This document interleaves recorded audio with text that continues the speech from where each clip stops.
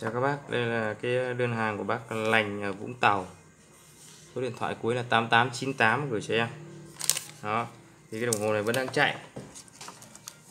Vẫn đang chạy nhưng mà nó Nó, nó, nó Bác ghi cho em như sau. Đây, đồng hồ có có tay Nhưng nó có tự động đấy Chạy bình thường.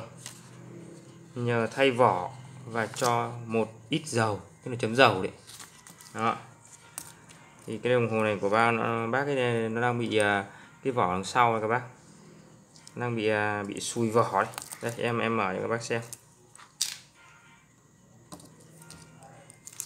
tức là cái cái máy thì em không nói nhưng mà cái vỏ của nó thì nó bị oxy hóa tức là vỏ của nó nó không sản xuất ra bằng bằng inox mà nó bằng bằng hàng mạ hàng mạ nên là nó gây ra hiện tượng bị nổ nổ nổ này các bác à, nó nổ nổ nổ nổ đấy. Đấy oxy hóa này bác xem.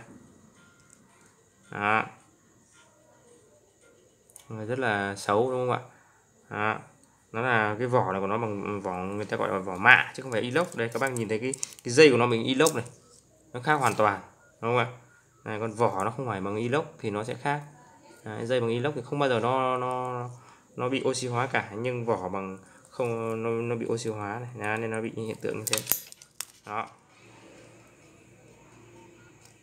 Vậy bây giờ em sẽ kiếm một cái vỏ thay cho bác ấy.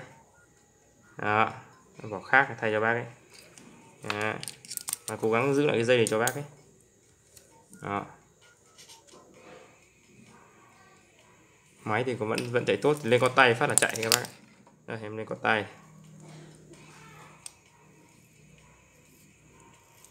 Đó lên con tay cái là nó chạy ngay. Đấy, nhưng mà cái vỏ nó bị sùi nhưng bác yêu cầu là thay vỏ khác. Vậy thì em sẽ thay vỏ khác cho bác ấy và em chống nước luôn cho bác ấy. Chống nước luôn cho bác ấy nhé. Đó.